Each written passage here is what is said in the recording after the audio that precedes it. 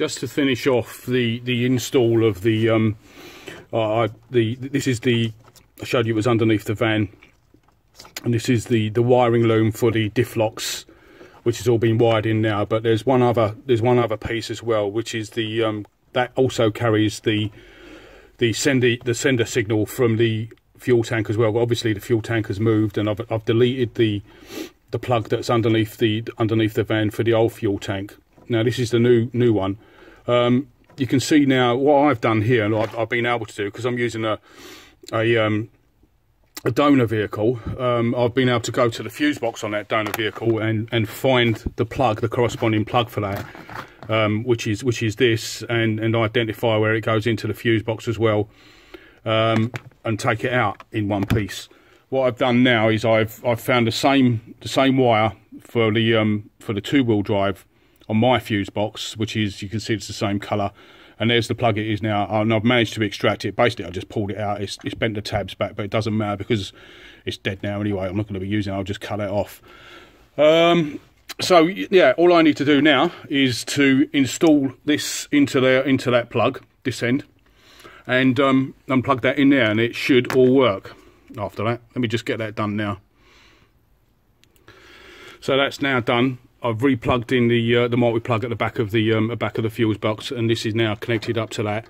Um, and that should be now sending my um, my the signal, fuel signal or fuel level signal from the um, from the fuel box up through the new part of the from the fuel box from the fuel tank um, up through the new newly installed loom and, and into the fuse box and on onto the gauge. Uh, and there you can see that the uh, it's getting a small signal there from the because there's not a lot of fuel in the tank at the moment, but I'm getting a signal nonetheless. So that's um, that's all sorted. One more job done. So the front suspension is now going in.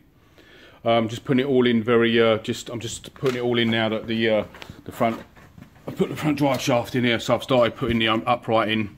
It's loose at the moment. What I'll do is I'll go around and hand tight uh, everything, make sure everything's hand tight on both sides as I go along and put them and finish each side. Then I'll uh, I'll set aside some time to go around and torque everything up nut by nut, bolt by bolt, um, and do both sides together. Make sure everything's up to the uh, proper torque values. Uh, I've still got to put on the um, the anti-roll bar or sway bar, whatever you, you, you prefer to call it. Um, one point that's worth mentioning here that you need to drill the holes for these these supports that, that um, come down, which are different from the two-wheel drive ones, obviously. Um, and uh, you need to drill them, ideally drill them holes before you mount the subframe. Do it when you're doing the holes for the, for the actual subframe itself. Uh, there's two holes that you need to drill. Um, that one there is the original one for the two-wheel drive, which is now you don't need it anymore. There's one here, and there's another one here for, for this to be bolted up. Um, and they are, it's best to look here on the um, on on the uh, chassis of the the old donor vehicle, and you can see just on here where this this bolted up up to there, um, and from there to the end of that chassis roll is 66 centimeters. Um, so yeah, that's, a, that's, that's the measuring point that you need to get the get the holes right. Just um, 66 centimeters from from there to there, uh, and mark your holes and drill, and they'll be in the right place. So that's the all of the front suspension now on um, drive shafts, springs, well everything basically apart from the steering rack. Uh, it's nearly there. I'll be getting to near to the end of this this part of the project now. Um, yeah, that all went on quite quite easily, really. Uh, the, I suppose the um, it was a bit bit tough getting the anti-roll bar links on. That's a bit of a bit of a wrestle to get them on, but uh, no problems. Uh, I suppose there was one issue there's always a there's always a bump in the road to slow slow progress down, or it seems to be anyway with this project. Uh, with with this one, the um the the bolt for the the lower shock absorber eye, that where that goes through into the cast lower lower arm there, the um the thread was uh, the thread was stripped on that. I, if I remember back actually when I stripped the vehicle down, the down the vehicle down, uh, that I remember there was a longer bolt in there with a with a with a nut on the end on the other side of that where it comes out, and they'd actually cut um, part of the uh, the lower one of these um, lower one of these bushings uh, out out of the way so that the um, the nut would fit. So basically, what I had to do with that slowed me down for about a week. I had to um, order up a helicoil, and I helicoiled that yesterday and, and torqued it up to I think it's 150 newton meters or something like that along those. It's it's it's, it's, it's FT anyway. So um, so yeah. Anyway, that's all done now. So all I really need to do now is is the um is get the, the, the rack built up and, and and get that fitted. Here's the rack. I've um I've started fitting the um started fitting the uh, the arms to it. Um, and uh, I'll just give it a quick coat of paint. I tested it off the vehicle. Uh, I connected it up to the, um, the, the, the the hydraulic lines with the engine running, and there was no leaks, uh, none at all really. So um, I'm hoping that that's a that's a good rack, and uh, and and it'll it'll all work okay. I suppose the only one really only really one way to find out is get it on the car and drop it on its wheels and see what happens. But um, yeah, so what I've got to do now is I've, I'm going to run some um, some some because the old the old uh, the old pipes for that are in a in a bad way. So what I've done is I've uh, I'm going to use some uh, again some Aeroquip fittings that are going to go into here and they'll connect up to the um, up to the pipes or the hoses, the pressure hose and the, and the drain hose that take it take it back to the back to the um, the pump. I'll do them this week as well. I've just got again, I've got to order up a few little bits and pieces. That's, that's really all that's holding me up now with this project is is is, is ordering a few a few bits and pieces as I go along. Stuff that I'd never stockpiled prior to the prior to the starting the project. Um, so that's that, and then it will be the gear linkage, which again I'm gonna I'm, I'm gonna try and renew as, as, many bits and pieces on that as I can, uh, and then it's more or less done. Hopefully, um, oh I've still got to do to connect the clutch up as well the um, the, the clutch line because that's that's got to be shortened because the Syncro one is slightly shorter with a longer flexible hose for some reason. I don't know why. I'll, I'll show you that in more detail when I um, when I get back under the car or under the van. But for now, anyway, for now that's where I am at the moment. Um, I'll come back when I've made some more progress with this steering rack uh, and, hopefully got it in. I forgot to mention what I was um, what I'm planning to do with the front brakes. Uh, for the moment, what I'm going to be doing is I'm going to be using the the the uh, the Syncro 16 front calipers with a uh, probably probably with a, a, black diamond disc upgrade and, and, pad upgrade as well. Until I actually do decide what where I'm going to go with with the uh, with with the front brakes and, and any mods that I'm going to do to them. Um, you can see I've got um, it's a Porsche Big Red. Um, it's a Brembo caliper. It's got off of a Porsche 911, which actually comes off of one of my other other cars that's off the road at the moment. The same one that I got the Audi S6 calipers, the rear calipers off of.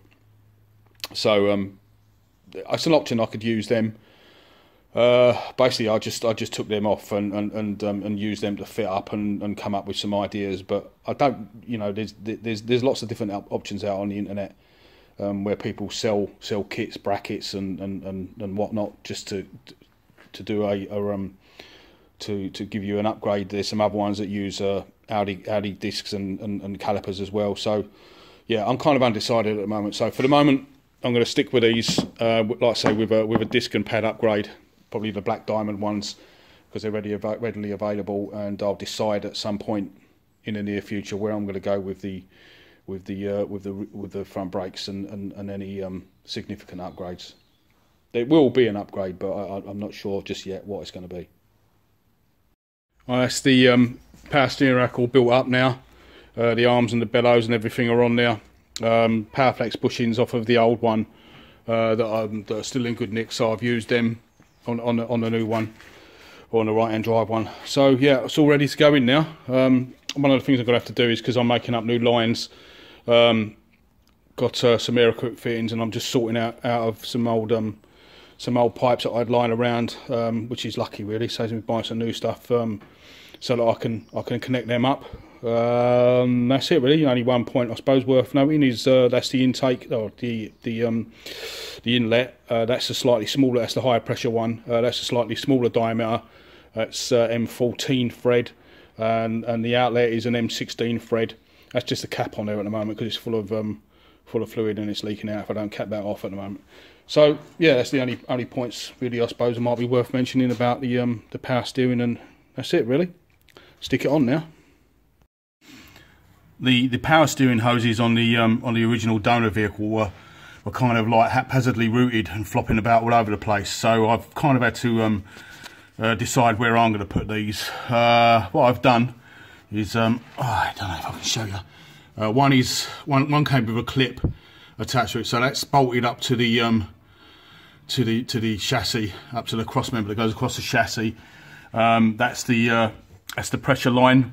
That's the return line. They're the original hoses that I've used. Um, okay, so that goes along there. What I did, um, I didn't. They wouldn't fit up in that through that recess too much of them. Where that you know the usual bit where the um where the cables run up through there. So I cut two holes um, and fill, fitted them with grommets so they can run through there, which they do.